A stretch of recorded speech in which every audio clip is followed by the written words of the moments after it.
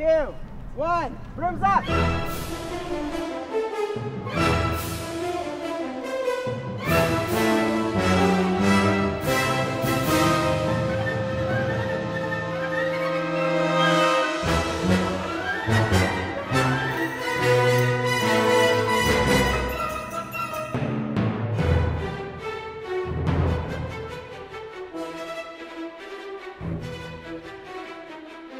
Are you aware you guys have a Quidditch team here?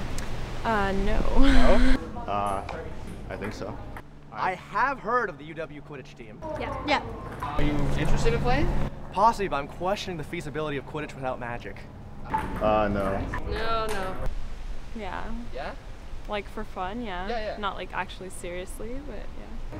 Well, I want to play. Like it'd be cool, and but I'm not really athletic. But it looks really fun. Yeah. Which I played once before in my life. Well, so, you, so if you guys are aware, like, there's tryouts today. Are you going at all this week?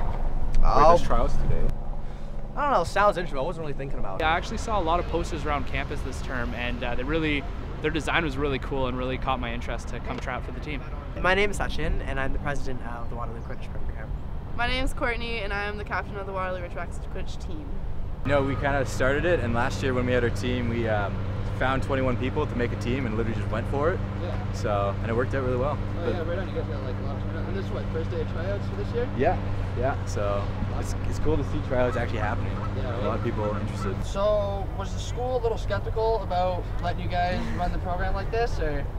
I would say um, there we get people who are definitely skeptical when we tell them that we play Quidditch.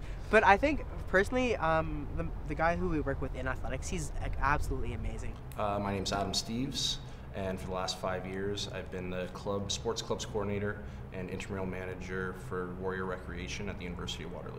When I was approached by uh, the original members of the Quidditch Club, and they had an idea, and they already had, you know, the support of several students, it was something that, you know, intrigued me, and we wanted to give it a shot.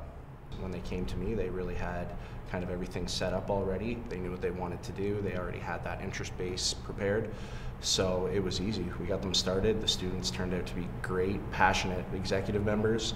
And in the last three years, they've grown it from that initial, you know, 30 or 40 people to up over 100.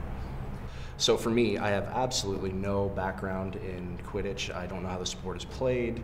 Um, I haven't even seen Harry Potter, but that's all irrelevant. If there's students there that are passionate about something, that want to get started in something, I want to be there to help them do that. The only really difference between us and varsity is the fact that we're not getting paid as much as the varsity players are to run our sport. Yeah. So Adam's been really great. Like this whole time, he's just like really supportive of us, and every time we like have tournaments and stuff, he gets really excited about it. And like he keeps our trophies in a case, and it's great. He's really excited about it, and he actually like knows that it's Yeah. a sport. A lot of people, when they hear the word Quidditch, they don't think it's an actual sport. They think it's just a joke, and people just do it for fun. And then you come and watch it, and you're like, oh my god, like this is actually a real thing. It's actually a real sport. So he knows that, and he gives us a lot of support, which is great. Um, as a sports clubs coordinator, I have a soft spot for those students that are passionate about something else that just happens to not be, you know, deemed varsity by the OUA or by the CIS. But my hope with Quidditch, as well as some of our other sports, is that they can actually get that recognition that they deserve uh, with a governing body such as the OUA or the CIS. Uh, the difference here is the varsity sports are all getting funding from the university um, to go and compete. They're getting, you know, paid coaches on contract and things like that. Whereas the clubs, they have to do it all themselves. So it's the students that are running it, students that are funding it, students that are coaching it, all of those kind of things. Uh, we provide as much support as we can, um, and luckily over the last couple of years, we've been able to find, you know, a small amount of finances to help them out any way that we can. But if there's that governing body, such as the CIS or OUA, that takes a, a sport such as Quidditch and turns it into that, you know, definition of varsity, um, then there's a lot more things that we can do to help them out. So five years from now, if you know they can be, you know, right there in that same list as you know football, hockey, basketball, volleyball, and those types of things, I think that would be awesome.